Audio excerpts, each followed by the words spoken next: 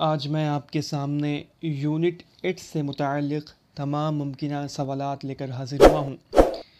तो पहला सवाल है कि उर्दू में सवाल निगारी का बाकायदा आगाज़ किस से होता है?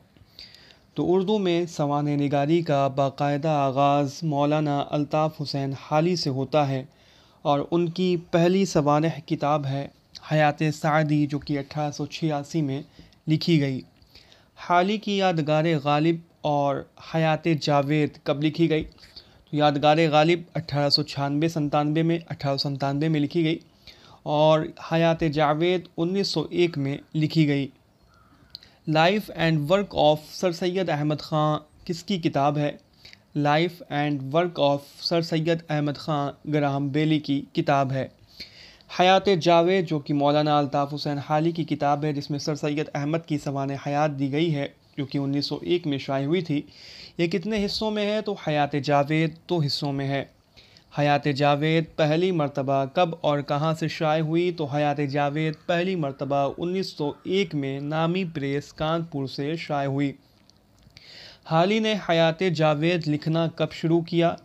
तो हाली ने हयात जावेद लिखना मुकदमा शेर व शायरी अठारह सौ तिरानवे की इशात के बाद ही शुरू कर दिया था। लेकिन पूरी तवज्जो अठारह सौ चौरानवे में दी। किसने हयात जावेद को सर सैद की मुदल्ल मद्दाही कहा है? तो अल्लामा शिबली नौमानी ने हयात जावेद को सर सैद की मुदल्ल मद्दाही कहा है। हयात जावेद शायद उर्दू की बेहतरीन सवान उमरी है। इसका बेहतरीन वसफ़ ये है कि ये जाम है। इसमें सर सैद के ज़िंदगी के जुज़ियात और दौर हयात के मुतल दिलचस्प और निजी शख्सी मालूम जमा हैं। ये किसका कौल है?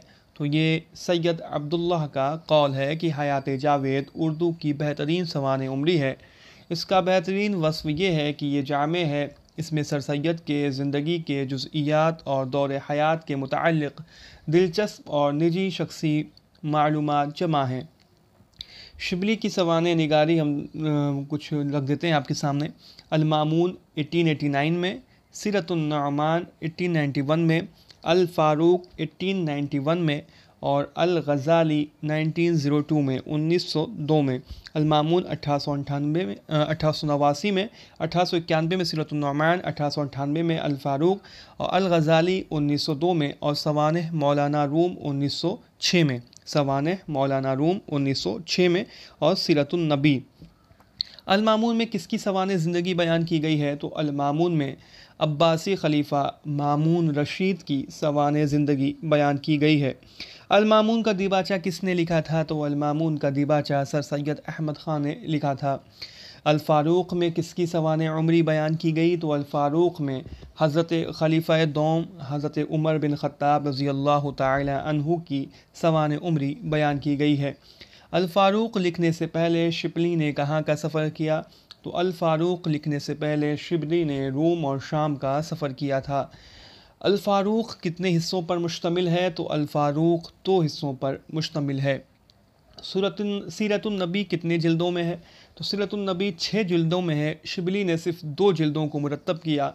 बाकी चार जल्दें सैयद सुलेमान नदवी ने तरतीब दी हैं। शिबली नामा और गालिब नामा ये किसकी तसानीफ़ हैं? शिबली नामा और गालिब नामा, ये दोनों तसानीफ़ शेख इकराम की है।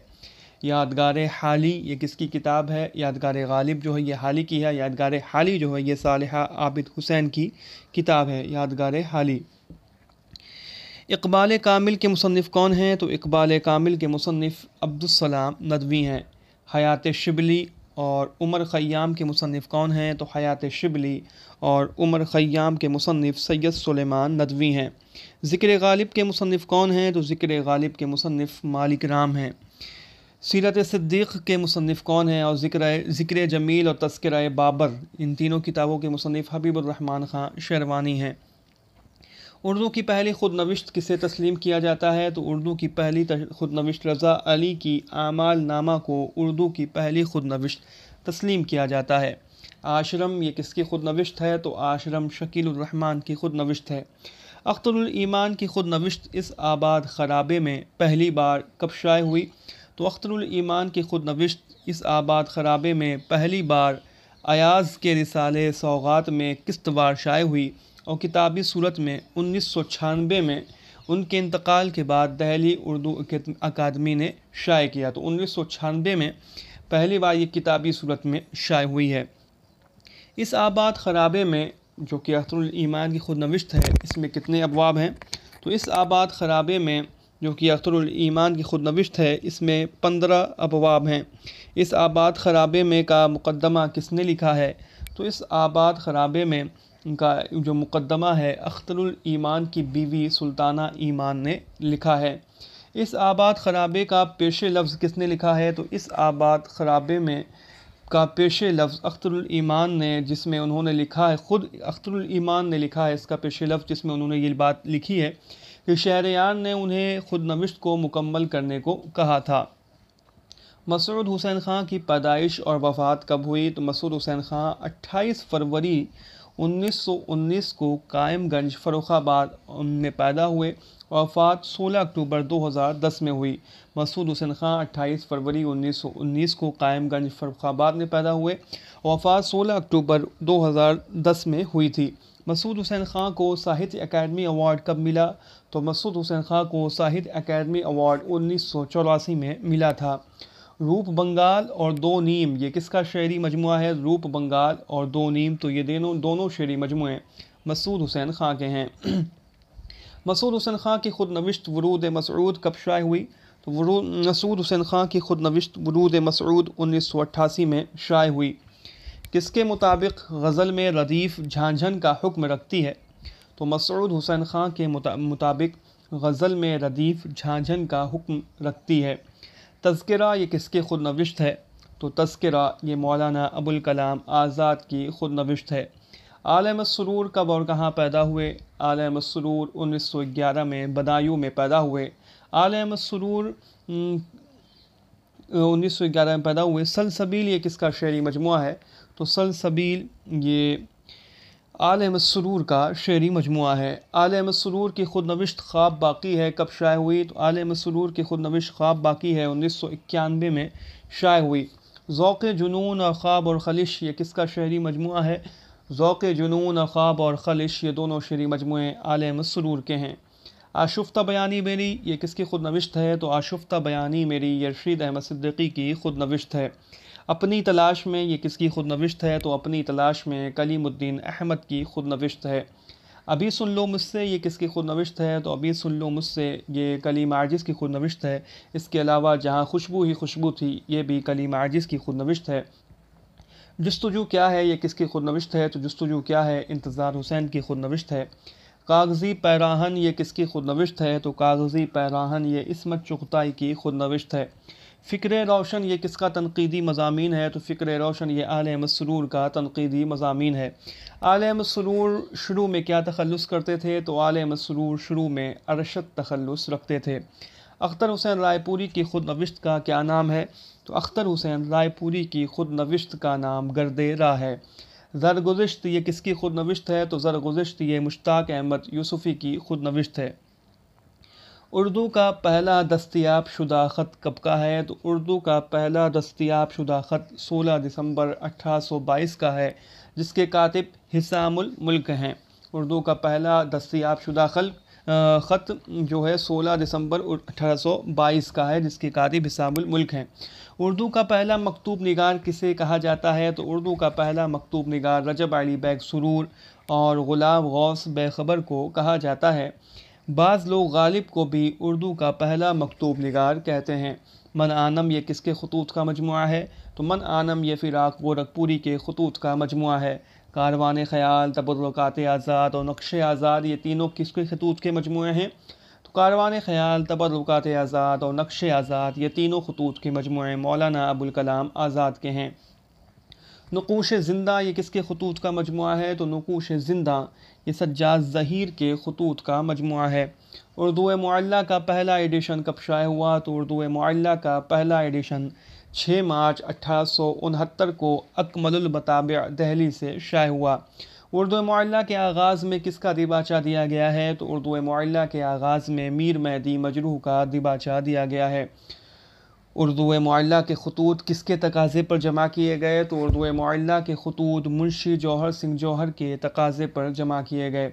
उर्दू माल्ला के ज़्यादातर खतूत किसने जमा किए? तो उर्दू माल्ला के ज़्यादातर खतूत मीर फ़खरुद्दीन और लाला बिहारी लाल ने जमा किए थे।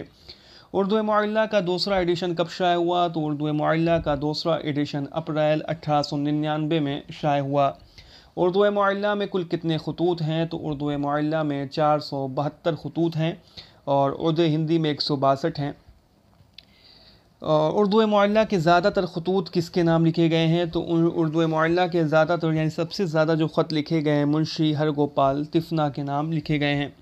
गुबार ख़ातिर क्या है? तो गुबार ख़ातिर मौलाना अबुल कलाम आज़ाद के चौबीस खतूत का मजमू है, जो उन्होंने किला अहमद नगर की कैद में 19 19 अगस्त 1942 से 15 जून 1945 के दरमियान सदर यार जंग मौलाना हबीबुररहमान ख़ान शेरवानी के नाम लिखा था।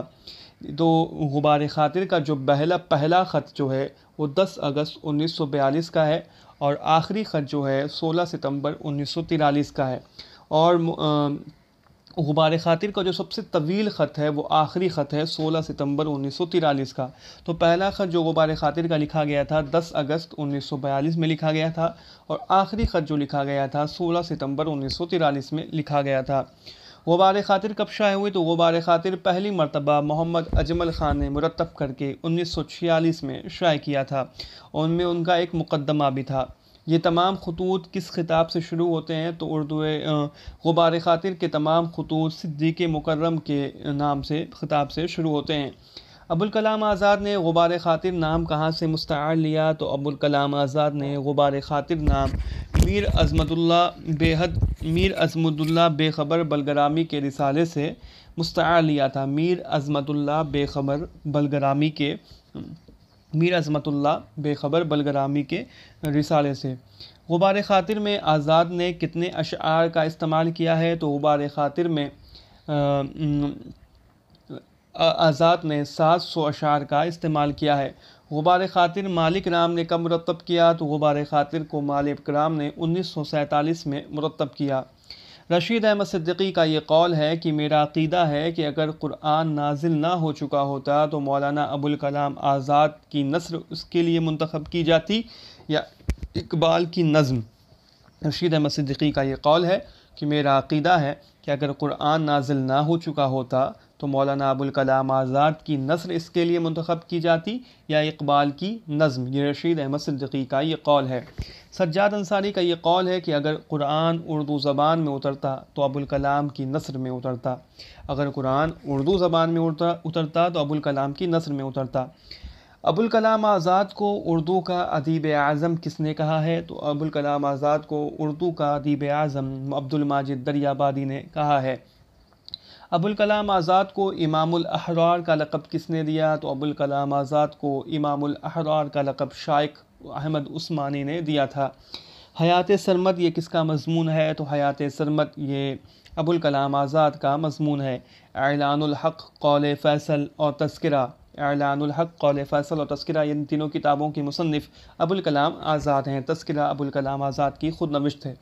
सलीब मेरे दरीचे में ये किसके खतूत का मजमू है? तो सलीब मेरे दरीचे में ये फैज़ अहमद फैज़ के खतूत का मजमू है। हिंदू और मुसलमान में इरतबात और हमारे बाद हमारा नाम रहेगा और गुज़रा हुआ ज़माना, ये किसकी मजामी है? हिंदू और मुसलमान में इरतबात। हमारे बाद हमारा नाम रहेगा, गुज़रा हुआ ज़माना, ये तीनों मजामी सर सैद अहमद ख़ां के हैं। सर सैद की पैदाइश और वफ़ात कब और कहाँ हुई? तो सर सैद की पैदाइश 17 अक्टूबर 1817 को दिल्ली में हुई और वफ़ात 27 मार्च अट्ठारह को अलीगढ़ में हुई थी। सर सैद के ख़िताबात क्या थे तो सर सैद के ख़िताबात जवादुद्दौला आरिफ जंग थे। आसारसनादीद की इशात कब हुई? तो आसारसनादीद की इशात अट्ठारह में हुई।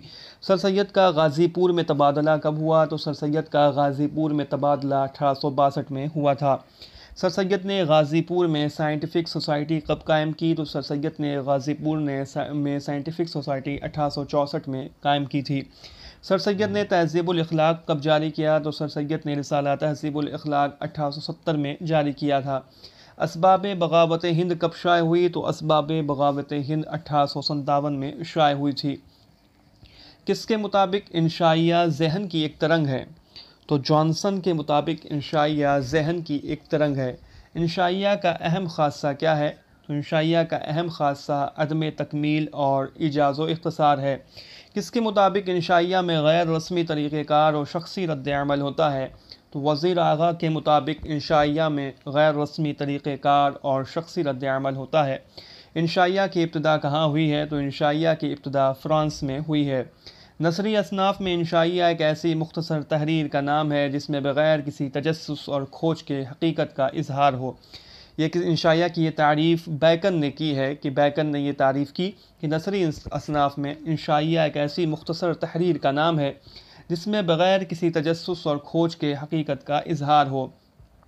किसने इंशाइया को गैर मनज़म अदब पारा कहा है? तो जॉनसन ने ही, जो कि इंशाइया को जिसने एक जहनी तरंग कहा था, उसने ही कहा है कि इंशाइया गैर मनज़म अदब पारा है।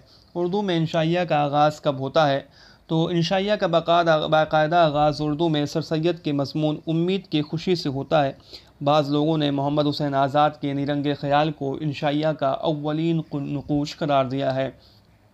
अहद इंशाइया का सुबह काजिब और सुबह सादिक किसे कहा गया तो मोहम्मद हुसैन आज़ाद के अहद को अहद इंशाइया का सुबह काजिब और रशीद अहमद सिद्दकी के अहद को अहद इंशाइया का सुबह सादिक कहा गया है। अरहर का खेत और वकील साहब, ये दोनों किसके इंशाइए हैं? तो अरहर का खेत, वकील साहब चार पाई ये तमाम इंशाइए रशीद अहमद सिद्दीकी के हैं। सज्जाद हैदर यलदरम के कलमी नाम क्या थे? तो सलदा, सज्जाद हैदर यलदरम के कलमी नाम खानी जान, मिस्टर सोलरी अली यलदरम थे। सज्जाद हैदर यलदरम का इंशाइया मुझे मेरे दोस्तों से बचाओ किस मजमू में शामिल है? सज्जाद हैदर यलदरम का इंशाइया मुझे मेरे दोस्तों से बचाओ, ख़यालिस्तान में शामिल है। कन्हैया लाल कपूर का इंशाइया गली, गालिब जदीद शरा के महफिल में और चीनी शायर किस मजमू में शामिल है? तो कन्हैया लाल कपूर का इंशाइया गालिब जदीद शरा की महफिल में और चीनी शायर संग वक्शत में शामिल है। संग वक्शत का इंतसाब किसकी तरफ़ है? तो संग वक्शत का इंतसाब कन्हैया लाल कपूर ने पितरस बुखारी के नाम किया है। तंजियात मज़ाक़ात किसकी तसनीफ़ है? तो तंजियात मज़ाक़ात रशीद अहमद सिद्दीकी की तसनीफ़ है। उर्दू का टॉमस ग्रे किसे कहा जाता है? तो उर्दू का Thomas Thomas, Thomas Gray Thomas गिरे पितरस बुखारी को कहा जाता है। मजामी पितरस के पहले एडिशन का दिबाचा किसने लिखा? तो मजामी पितरस के पहले एडिशन का दिबाचा रशीद अहमद सिद्दीकी ने लिखा था। लाहौर का जग्राफिया और मरहूम की याद में और कुत्ते, ये तीनों किसके अंशाइए हैं? लाहौर का जोग्राफिया मरहूम की याद में और कुत्ते ये तीनों इंशाइए पितरस बुखारी के हैं।